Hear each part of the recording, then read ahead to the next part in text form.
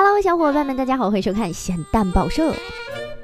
一块鼻涕胶给你，你能做什么？好吧，大家也不要再想了，因为小时候我们接触过它，大概大家也只是用来做做拉面。可是国外的一个妹子却通过这个鼻涕胶赚到了人生的第一桶金，甚至还在加州买了六间室的房子。大家是不是很羡慕呢？Karina Gasher 是 YouTube 上的一名普通的主播，但是从2015年年底开始上传她制作的 Slime 的视频之后，一切都变得不一样了。而 Slime 是什么呢？就是我大天朝造就的玩腻了的一种玩具，一种介于液体和和固体之间的胶状物。小时候相信大部分人都有玩过，但是老外最近才知道这种东西，并且爱上了之后就一发不可收拾了。这个靠玩 slime 吸粉的妹子，她最火的视频居然达到了千万亿的点击量，而就靠着这点击量，就已经接到了可口可乐和迪士尼的广告合作了。可是他对自己还不够满意，甚至还出了书，专门教人怎么样 DIY 好看的 slime，比如说会往里面添加一些诸如荧光粉、色素、各类油或者玉米粉的东西，让 slime 更加的好看、好闻，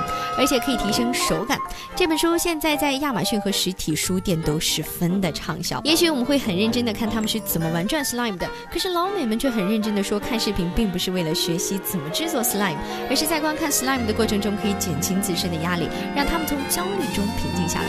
好吧，也许真的是社会压力太大了，大家都在通过各种方法舒缓自己的心情，好让自己不要发疯。不和你们瞎聊了，小编要去看看还有哪些可以发家致富的招了。好吧，希望地球人继续不断的作妖，让我们继续吐槽。世界如此枯燥，新闻也需要情调，还不点关注？你是在等什么呢？